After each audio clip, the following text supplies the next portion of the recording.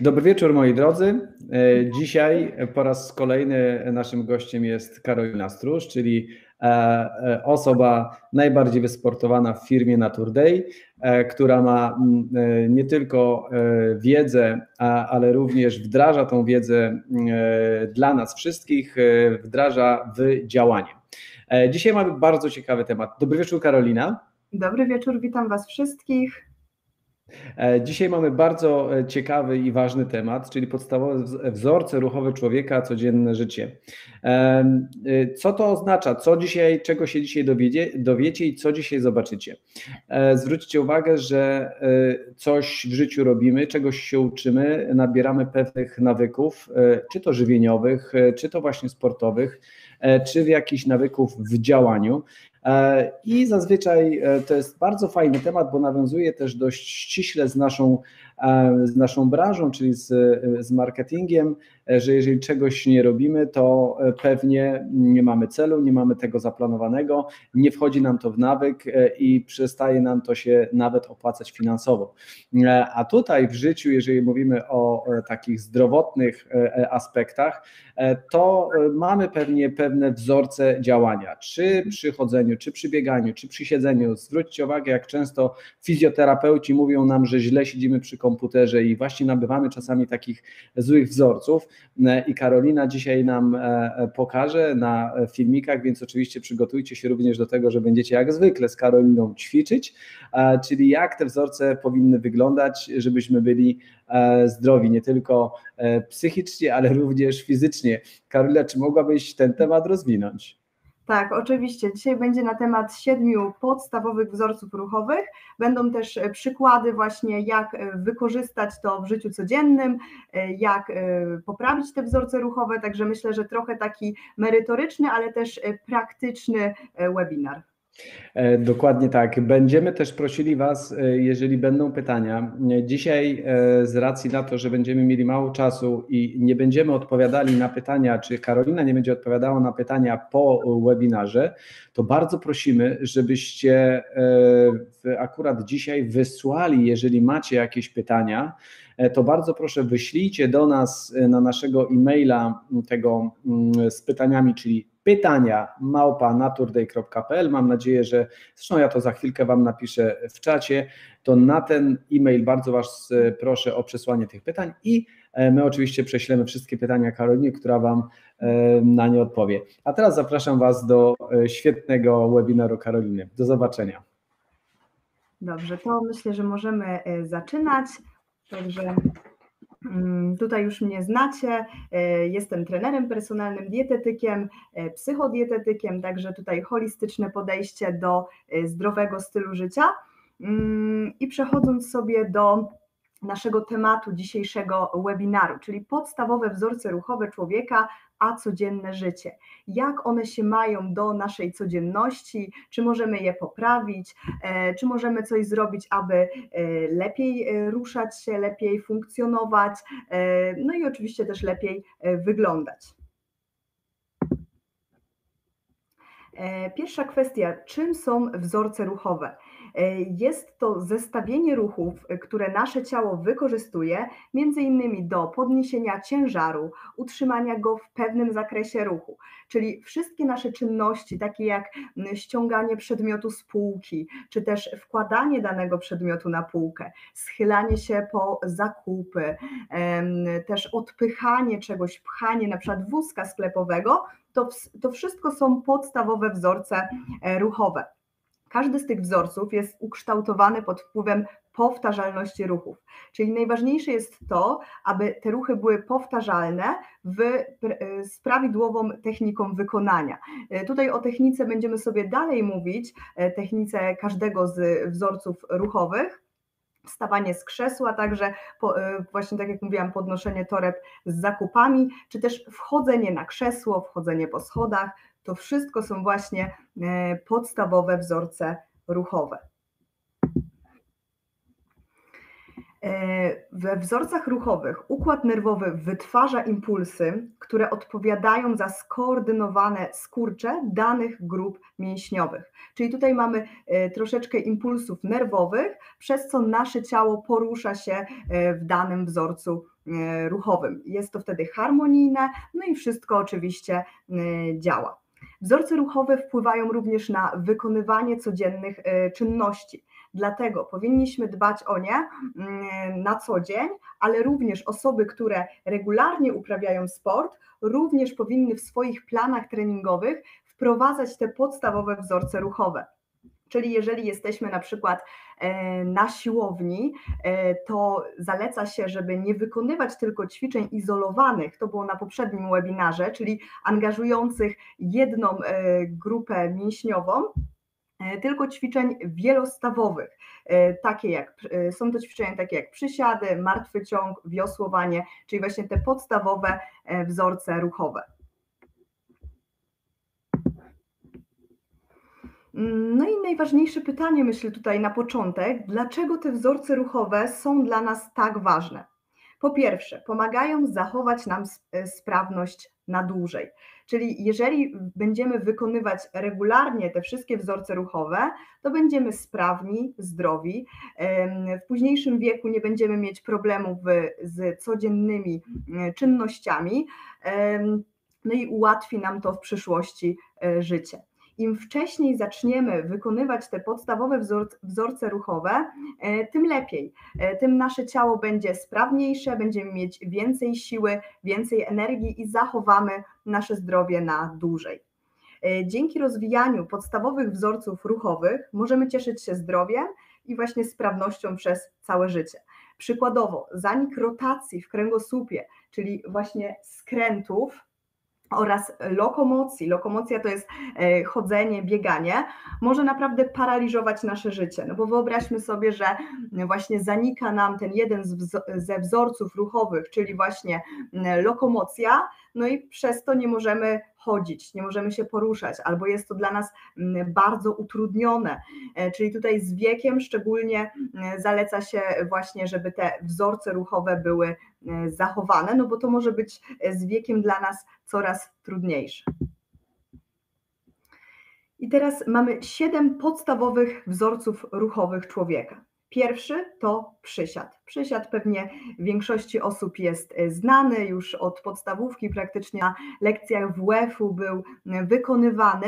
Natomiast bardzo ważne jest to, jak wykonujemy ten przysiad. O tym zaraz e, będziemy rozmawiać. Kolejny ze wzorców, czyli ruch hip hinge, jest to zgięcie w stawie biodrowym. E, to też jest bardzo popularny wzorzec ruchowy, zaraz też będziemy sobie o tym mówić. Na początku może ta nazwa hip hinge może nie być mm, do końca dla wszystkich jasna, ale tym się nie przejmujcie, do tego też mm, dojdziemy. Kolejny wzorzec lokomocja, czyli chód, bieganie. To jest y, praktycznie cały czas wykorzystywane przez nas w ciągu dnia, chociaż niestety przez siedzący tryb życia, y, przez y, pracę przy komputerze, przez home office, który w czasach COVID-u bardzo się rozwinął, no właśnie ten wzorzec ruchowy lokomocja jest coraz bardziej zaniedbywany. Czyli tak prosta czynność jak chodzenie e, jest coraz bardziej mm, zaniedbywana. Kolejny wzorzec, czyli pchanie, z angielskiego push. Tutaj przykładem właśnie jest pchanie wózka, e, zaraz też będziemy o tym mówić. Przyciąganie, czyli pull, też wykorzystujemy mm, w naszym życiu. Wykrok, na początku też może się wydawać no wykrok, co ja robię wykroki e, podczas dnia, e, w ciągu dnia. No nie chodzi tutaj o taki klasyczny wykrok, jakim jest ćwiczenie wykrok, tylko na przykład o wchodzenie po schodach, wchodzenie na jakieś podwyższenie. Mm, tutaj pod to możemy właśnie podciągnąć.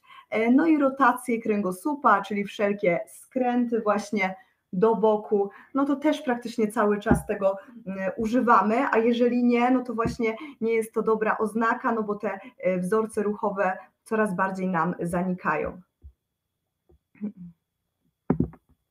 Tak, tutaj Marcin napisał jeszcze e, maila, właśnie pytania małpa naturday.pl, także jeżeli byście mieli jakiekolwiek pytania właśnie treningowe e, czy, czy też dietetyczne odnośnie tego webinaru, to oczywiście możecie tam pisać i, i na wszystkie później mm, odpowiem. Także, także przechodząc do pierwszego wzorca ruchowego, e, jest to przysiad, wykorzystuje on zgięcie w biodrze oraz zgięcie e, w kolanie. Generowanie siły z kończyn dolnych należy do głównych zadań tego wzorca. Czyli najwięcej siły e, wychodzi tutaj właśnie z kończyn dolnych, z nóg. Natomiast bardzo ważne jest to, jak wykonujemy ten przysiad. E, często widzę, że mm, wiele osób wykonuje przysiad na palcach na przykład, tak? Czyli nie jest cała stopa na ziemi położona, tylko przechodzą na palce. Wynika to y, w wielu przypadkach z braku mobilności w stawie mm, skokowym, e, w ogóle z braku aktywności fizycznej, także mm, rozpoczęcie trenowania powinno zwiększyć nam zakres ruchu właśnie w tym e, ćwiczeniu. E, w życiu codziennym przysiad wykorzystujemy do podnoszenia przedmiotów z podłogi. Częstym błędem jest podnoszenie ciężaru na prostych nogach.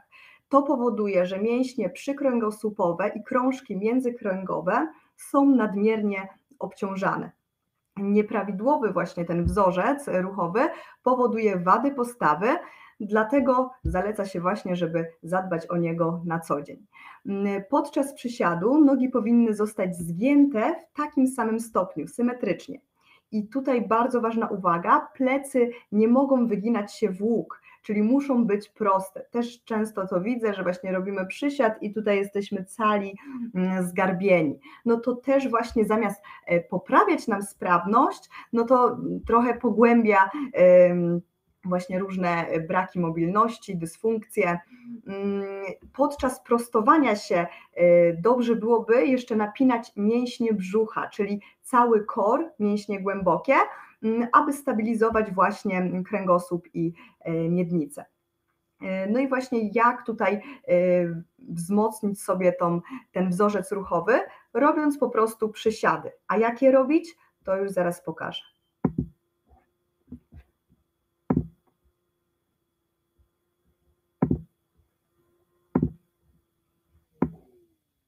Czyli widzicie, ja tutaj je w domu robię, także nie musicie iść na siłownię, możecie po prostu w domu zrobić sobie taki trening, który opiera się właśnie na tych siedmiu wzorcach ruchowych, czyli najpierw robicie sobie przysiad, 10 powtórzeń załóżmy, taka, taka średnia liczba. Mhm. I zauważcie, że ja najpierw cofam y, biodro do tyłu, później idą kolana. Plecy mam proste, nie wyginają się w łuk, całe stopy na ziemi. Mhm. I brzuch tutaj staramy się, żeby był cały czas napięty. No i tak, ja dosyć nisko tutaj schodzę w tym przysiadzie, no bo y, często wykonuję to ćwiczenie.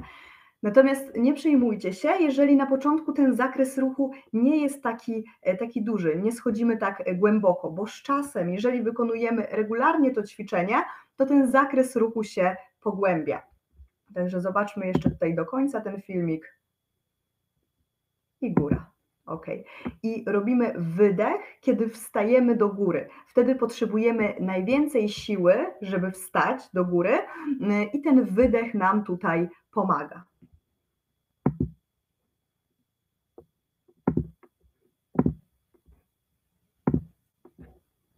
Mm, kolejny z wzorców ruchowych, czyli ruch hip hinge.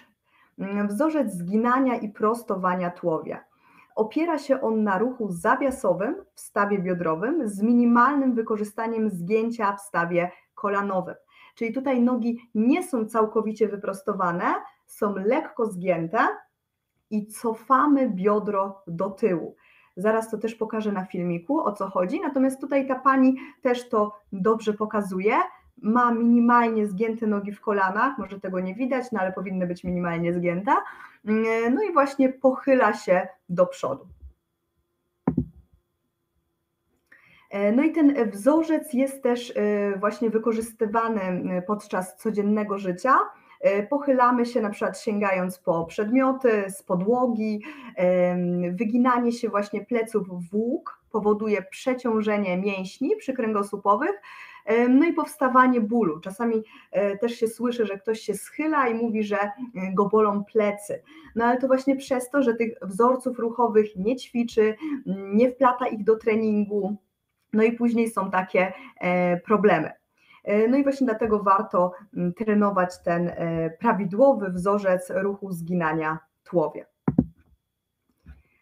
Już pokazuję, jak to wygląda.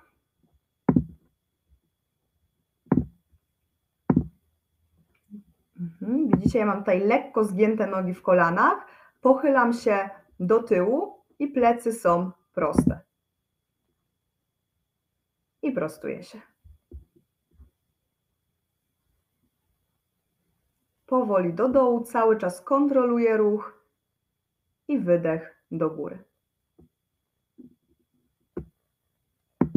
Okay? Jeżeli ciężko Wam sobie to wyobrazić, jak to, jak to zrobić w ogóle, to proponuję sobie stanąć przy ścianie, tak na odległość stopy od ściany y, i starać się pośladkami dotknąć ściany, tak żeby właśnie pochylać się do przodu na lekko zgiętych nogach y, w kolanie. No i takie ćwiczenie też powtarzamy sobie 10-15 powtórzeń i mamy już drugi wzorzec y, ruchowy.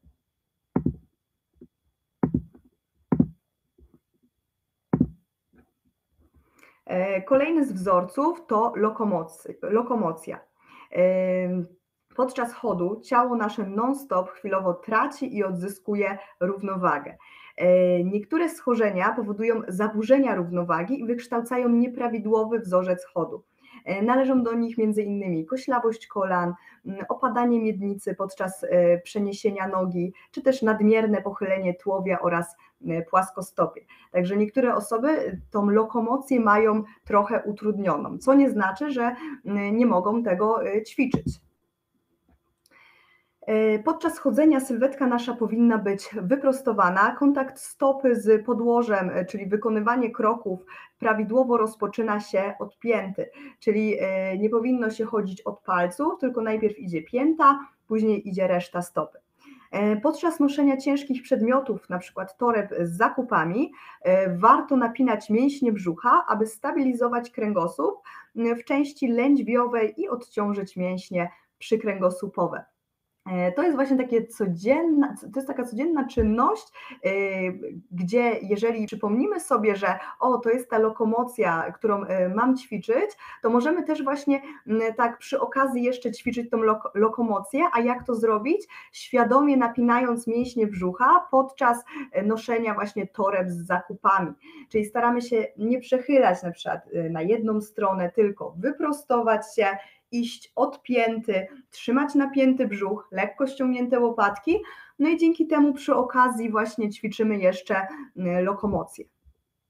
Też takim ćwiczeniem na siłowni na przykład jest y, spacer farmera, czyli trzymamy y, dwa dosyć ciężkie hantelki w dłoniach albo ketle, no i idziemy sobie właśnie takie długości, gdzie też ćwiczymy właśnie wzorzec ruchowy lokomocji.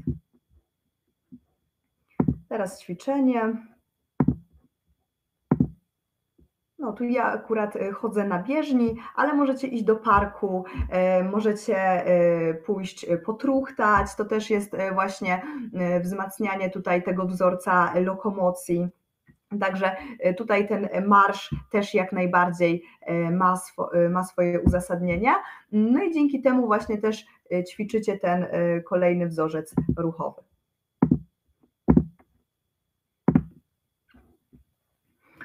Kolejny wzorzec to pchanie push. E, odpychanie głównie angażuje mięśnie barków, tricepsów i klatki piersiowej. E, w szczególności o prawidłowy wzorzec ruchu odpychania powinny zadbać osoby wykonujące pracę, które wywołują asymetrię ruchową kończyn e, górnych. Czyli tutaj staramy się, aby e, obie nasze strony były w równej, e, w równej mierze wzmocnione, czyli i prawa, i lewa strona. Zaraz pokażę, jak to, jak to zrobić. Tutaj pani, która pcha wózek, no to właśnie też wykorzystuje tutaj tak i wzorzec ruchowy lokomocję, no bo idzie z tym wózkiem, no i jeszcze go pcha, czyli dodatkowo wzorzec pchania. I tak naprawdę całe nasze życie opiera się na tych e, wzorcach ruchowych. E, właśnie w życiu codziennym odpychanie najczęściej występuje podczas odkładania przedmiotu i wpychania go na wysoką e, półkę, czyli mamy tutaj przedmiot, wpychamy go do góry i też mamy właśnie wzorzec pchania. W celu prawidłowego wykształcenia tego wzorca wystarczy właśnie systematycznie wykonywać na przykład pompki w pozycji stojącej. W tym celu należy stanąć w lekkim rozkroku właśnie przy ścianie, oprzeć dłonie o ścianę, e, rozstawione na szerokość barków. No i właśnie takie ćwiczenie też wykonujemy sobie 10-15 powtórzeń. Oczywiście możemy zacząć od mniejszej ilości powtórzeń w pierwszym tygodniu i na przykład w drugim zwiększyć sobie to do 15 e, powtórzeń. E, pchanie już Wam tutaj pokazuję. Tak, ja sobie tutaj stanęłam przy ścianie, no i robię taką pompkę w oparciu o ścianę. Później e, trudniejszą wersją takiego odpychania przy ścianie e, jest już pompka na przykład damska w oparciu o kolana na ziemi. No i już później najtrudniejsza wersja, no to pompka klasyczna, czyli na ziemi. Także też stopniowo można e, przechodzić sobie na wyższy poziom. No i te wzorce ruchowe też są e, w aplikacji właśnie naszej treningowej, e, z którą też możecie przećwiczyć je. Tam są przysiady, e, tam też jest wiosłowanie, pchanie, także to wszystko, co tutaj mówię, też znajdziecie w tej aplikacji. Także jeżeli nie macie pomysłu, jak to, jak to ułożyć, jak się za to zabrać, albo potrzebujecie też motywacji, no bo tam też osoba z Wami ćwiczy, no to jak najbardziej taka aplikacja się tutaj przyda.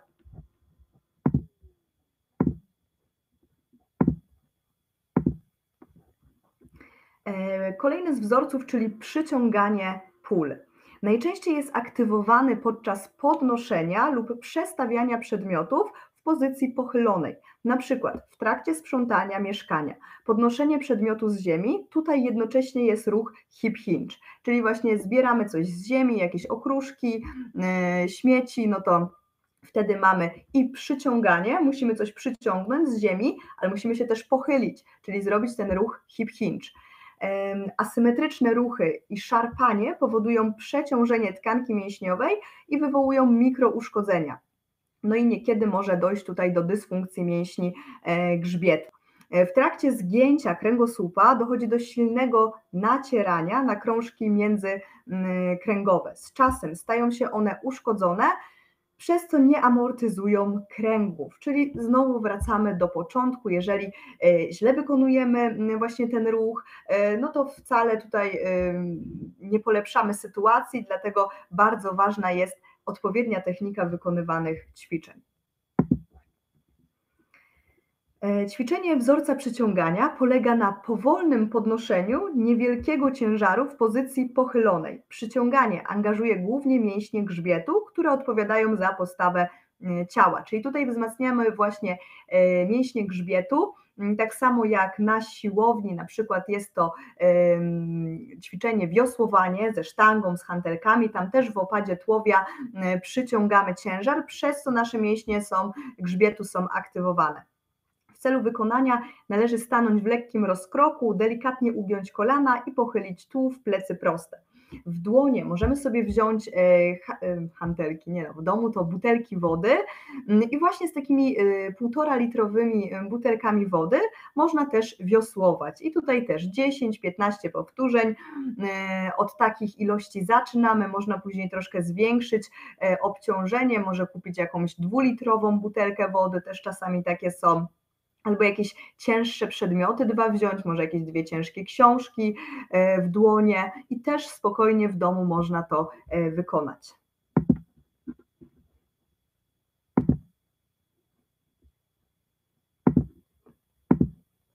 Tak, ja mam tutaj butelki i właśnie w tym opadzie tłowia wiosłuję. Przyciągam je do ciała, wydech jest do góry, no bo wtedy jest największa praca wykonywana. Wtedy jest spięcie mięśni grzbietu i powoli opuszczamy e, butelki do dołu. Jeszcze raz puszczę ten filmik. Ważne jest to, aby nie unosić tułowia wyżej, czyli cały czas jesteśmy nieruchomo w tej pozycji. To też jest pozycja hip hinge tutaj, no bo też mamy lekkie zgięcie w kolanach i wypchnięcie biodra do tyłu. Także znowu połączenie dwóch wzorców ruchowych.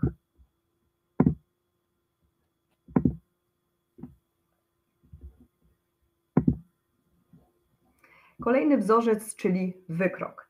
E, przykładem wykorzystania tego wzorca ruchowego jest na przykład wchodzenie po schodach, wejście na stołek, czy też jakiekolwiek podwyższenie. Mm, także naprawdę często wykorzystujemy to y, w życiu, a jeżeli nie, to właśnie powinniśmy zacząć to robić. Czyli tutaj prosta zmiana. Zamiast y, jechać windą na górę w bloku, no to staramy się wchodzić po schodach. Dzięki temu już ćwiczymy właśnie ten wzorzec ruchowy.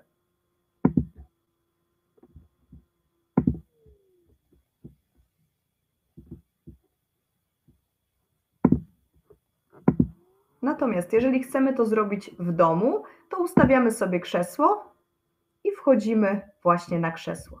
Raz jedna, raz druga noga, po 10 powtórzeń na stronę, czyli w sumie mamy 20 takich wejść. Tutaj cała stopa jest e, na podwyższeniu i staramy się odpychać z tej przedniej nogi, czyli ciężar przenosimy na przednią nogę i z wydechem wchodzimy na podwyższenie.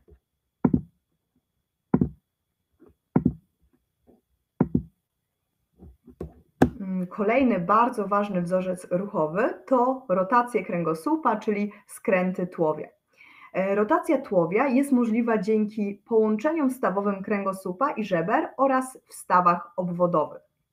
Każde z nich posiada zakres ruchowy, który umożliwia wykonanie całkowitego skrętu tułowia. Czyli jeżeli, nie wiem, chcemy sięgnąć po coś z boku, tak, to skręcamy się, i przenosimy e, przedmiot do, e, do przodu. Także jest to bardzo ważne, no i zanik tego wzorca ruchowego może naprawdę e, robić nam kłopot w życiu mm, codziennym. Największy zakres rotacji występuje w odcinku lędźwiowym, czyli w dolnej części pleców i szyjnym kręgosłupa.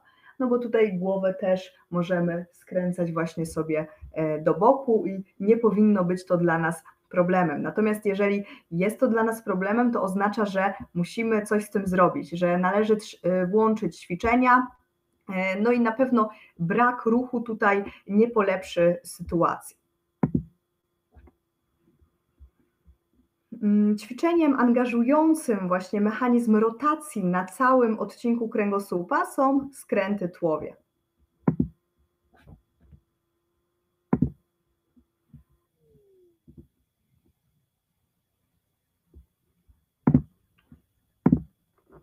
Tak, ja sobie tutaj staję, ręce mam przy klatce i właśnie takie skręty wykonuję. Patrzę się za siebie, tak żeby był pełen zakres ruchu y, i żeby właśnie go pogłębić.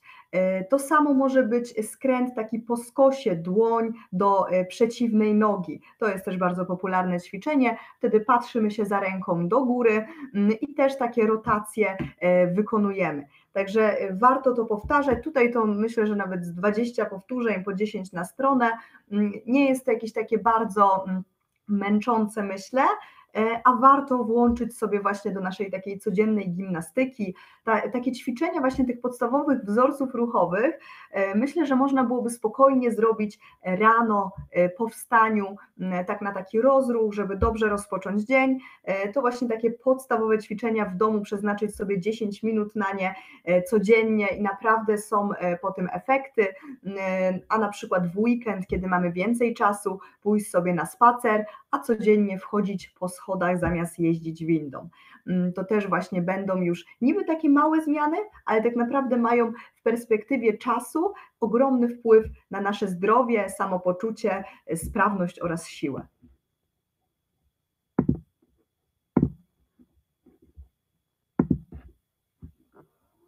Mm, jeśli to były wszystkie właśnie te mm, wzorce ruchowe, natomiast suplementy wspierające aparat ruchu to OptiArtroflex e, wspiera on wytwarzanie kolagenu. Kolagen jest bardzo ważny dla naszych stawów, e, kości, sprawności fizycznej, pomaga utrzymać ruchomość, elastyczność stawów, e, wspiera kontrolę stanu zapalnego i spójność tkanek. Także jeżeli włączymy aktywność fizyczną, właśnie wykonywanie tych wzorców ruchowych, plus właśnie odpowiednią suplementację, dietę bogatą w wapń, witaminę D, która jest bardzo ważna też dla e, zdrowia naszego układu ruchu, kości, stawów, to naprawdę e, będziemy cieszyć się zdrowiem e, na długo. Także myślę, że wtedy wizyty u lekarzy nie będą potrzebne albo nie będą tak częste, czy też u fizjoterapeutów, no bo wiele osób zamiast zacząć ćwiczyć,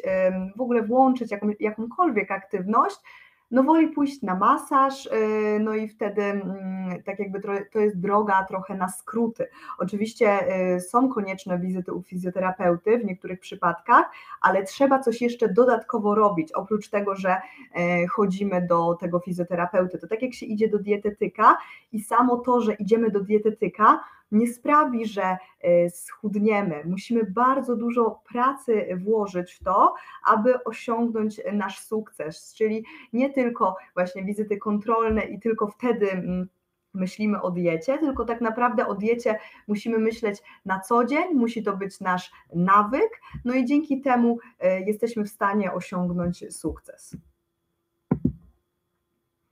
Mm, kolejny, y, który tutaj polecam, suplement, to jest OptiFlex Pain e, Spirulina. Jest to formuła, której składniki wspierają zdrowie kości, stawów, e, no i są korzystne dla układu mięśniowo-szkieletowego. Także ten suplement też jak najbardziej tutaj sprawdzi się jeżeli e, chcemy zadbać o nasz aparat ruchu, albo już jakieś dolegliwości e, występują, to wtedy jak najbardziej tutaj możemy sobie to włączyć do naszego zdrowego stylu życia.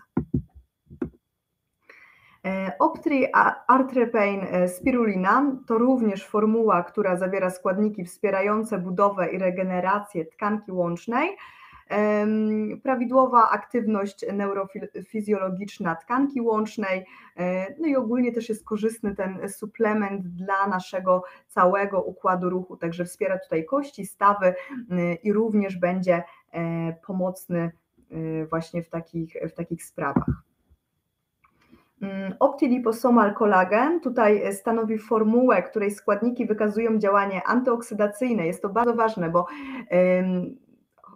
na co dzień bardzo dużo y, wolnych rodników jest w naszym organizmie, czy to z żywności, czy y, z zanieczyszczeń w powietrzu. Także tutaj potrzebne są nam duże ilości antyoksydantów, aby zwalczać te y, wolne rodniki.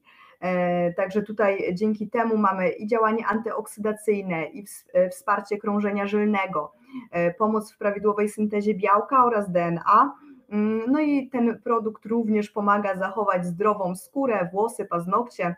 Także tutaj, jeśli szczególnie myślę, że panie są tym tematem zainteresowane, e, no bo zawsze są takie pytania właśnie, a co na e, skórę, włosy, paznokcie.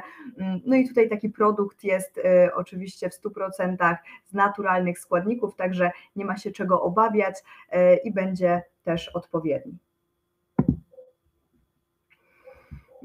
Podsumowując, e, prawidłowe wzorce ruchowe pozwalają zachować sprawność oraz uniknąć urazów w trakcie wykonywania codziennych czynności i treningów. Czyli jeżeli będziemy regularnie je wykonywać, to być może uchronimy się przed jakąś kontuzją, być może upadek nie będzie dla nas tak groźny, no bo czasami można się potknąć, natomiast jeżeli mamy y, sprawny aparat ruchu, silne mięśnie, wzmocnioną masę mięśniową, y, to też zmniejsza się ryzyko właśnie takiej kontuzji. Y, ja czasami na przykład jak się potknę, to czuję, że mam taką kontrolę nad tym upadkiem, że potrafię jakoś lepiej, lepiej upaść, tak, tak może mm, potocznie bardzo to, y, o tym powiedziałam, ale mm, chodzi o to, że wtedy możemy się uchronić przed kontuzją. E, no i warto wykonywać te ćwiczenia systematycznie, systematycznie mm, i dzięki temu pozwala nam to wypracować e, wzorzec e, ruchowy odpowiednio oraz niweluje również napięcia mięśniowe. Także Te wzorce ruchowe są bardzo ważne, jest ich siedem, e, wszystkie tutaj właśnie omówiliśmy. Tak naprawdę to e, być może nieświadomie e, właśnie, znaczy na pewno nieświadomie wykonujemy je w ciągu naszego dnia. Być może część z osób nie, wiedziało, nie wiedziała o tym, że właśnie to jest jeden z wzorców ruchowych także tutaj proponuję albo taki trening e, właśnie ułożony z tych wzorców ruchowych codziennie. Mm, oczywiście aplikacja treningowa tutaj też będzie miała swoje zastosowanie, e, no i suplementacja, która będzie dopełnieniem całego dbania o właśnie nasz aparat ruchowy.